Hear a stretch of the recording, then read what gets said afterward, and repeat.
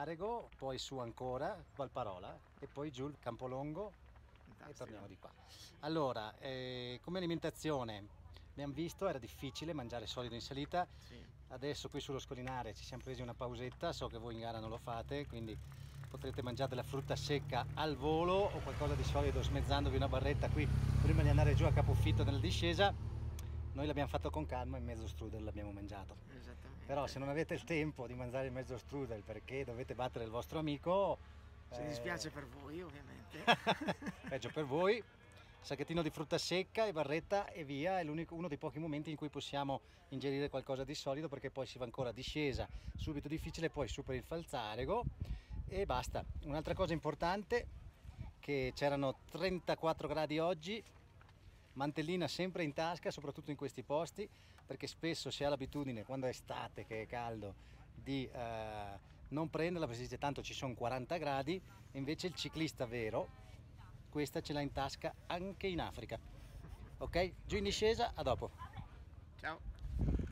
Inizia salita Passo Falzarego, abbiamo fatto la salita del, la discesa, scusate, del Giau. Molto tecnica, molto impegnativa, non di gamma, ma comunque dal profilo energetico perché tante curve strette. Inizia il Falzarego, sarà una salita più dolce, però attenzione qui all'inizio, la famosa sensazione, come si dice in gergo, dei cani che morsicano i quadricipiti. È normale dopo la discesa, sembra di avere le gambe un po' impastate. Non facciamoci prendere dal panico, Gabriele. Agili. 3-4 minuti cardiovascolarizzare per togliere questo torpore dell'inizio salita dopo la discesa e ancora 3-4 minuti senza panico e ci riportiamo di passo com'è Gabriele? Senti i cagnolini sulle gambe? se le senti è normale eh? come sono le sensazioni? Positivissimo. pendenze un po' più dolci rispetto a prima no? Sì, assolutamente estremamente più pedalabile. sensazione, frequenza cardiaca, watt, come stai? Watt eh, sono su due in questo momento, quindi tranquillo. Watt, eh, frequenza 150. Ok, quindi al medio. Vedo che anche la cadenza è più facile. Siamo Frequenza su 70. 70 pedalate al minuto, 6,7% la pendenza in questo momento. E un po' alla volta andiamo in progressione fino a salire, eh? Bravo. Tratto che spiana 8 km alla cima. Questi tratti qua te spianano così, approfittane per bere, eh? Ricordati sempre 750 ml almeno all'ora. Oggi ci sono 32-33 gradi già qui. Sarebbe meglio anche, anche di più, ma quando ci sono sempre questi tratti, questi tratti qua che spianano così approfittane respira un po' di più e bevi sempre a piccoli sorsi eh. ogni 5 minuti tac, piccolo sorsetto di acqua. Drittoni lunghi dove bisogna tenere la concentrazione qua sotto il sole 33 gradi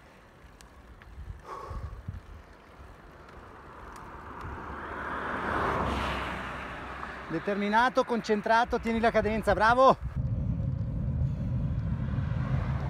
5 km alla cima, ottimo, tieni bene il ritmo. Dai che è finito il tratto duro, quello brutto sotto il sole, ogni tanto ricordati di alzarti che scarichi i glutei, eh? È arrivato il momento giusto per prendere altri 30 grammi di carbo a bassa osmolarità, sforzati, è importantissimo, eh?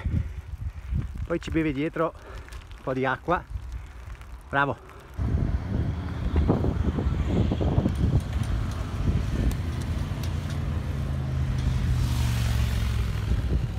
grandissimo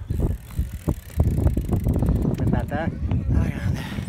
come sono le sensazioni dopo già falzare con le gambe come le sentivi? Allora, le gambe bene, devo dire. Il problema è la schiena, che è molto debole.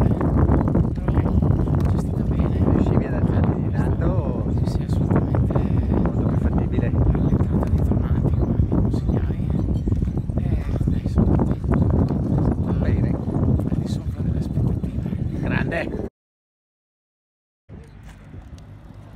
grande allora, siamo sul Falzargo ci manca da fare il Campolonga dove parare dove siamo poi frutta secca una mezza barletta perché sono visto che siamo calmi andare sempre nei liquidi non vorrei su- succedesse un episodio sgradevole. Esatto, evitiamo.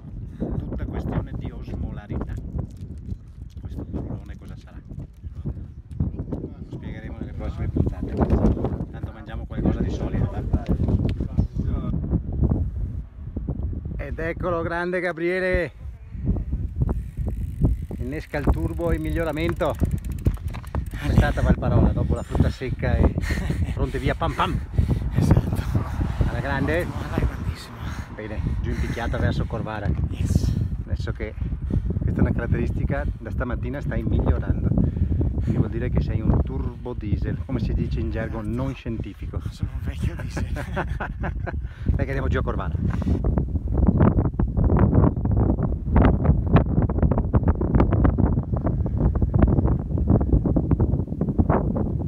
ultima salita di giornata. Abbiamo percorso partendo da Alleghe questa tutte le salite finali. Ci dovremo fare per l'ultima quella che alle Dolomiti è la prima. Notizia del giorno. Gabriele si è alimentato bene si è gestito bene e sull'ultima salita in netta crescita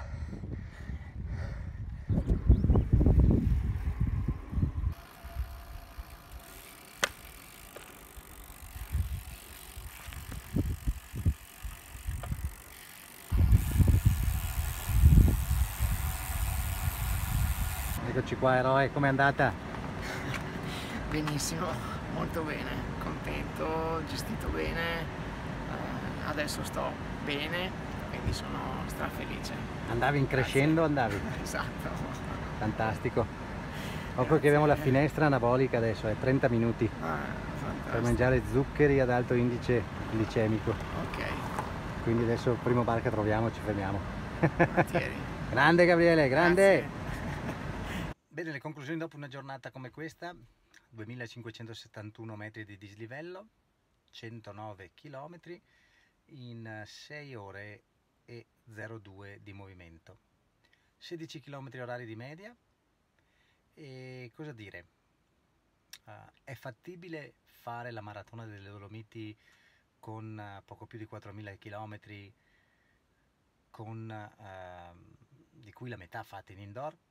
Bene, secondo me sì, è fattibile se si va molto molto piano e ci si, sta, e ci si sa gestire contestualmente alle proprie possibilità e al proprio allenamento. Gabriele andando a casa mi ha fatto una domanda, mi ha detto Angelo tu cosa mi consigli di fare? Allora io gli ho detto guarda Gabriele, contestualmente a quello che abbiamo visto oggi ce la puoi fare in 9 e mezza 10 ore. Cosa farei io? io ti consiglio di fare il medio. Non tanto perché non ce la fai a fare il lungo ma per la mia opinione siccome è la prima volta che ti fai la gran fondo delle Dolomiti io me la prenderei mm, a piccoli step. Poi fattibile? Sì per me è fattibile. Che sia salutare non so quanto, ma comunque questo è solo una mia opinione. Per cui viva gli eroi del ciclismo, viva gli eroi come Gabriele che quando hanno un sogno gli brillano gli occhi come i bambini, viva il ciclismo. Ciao!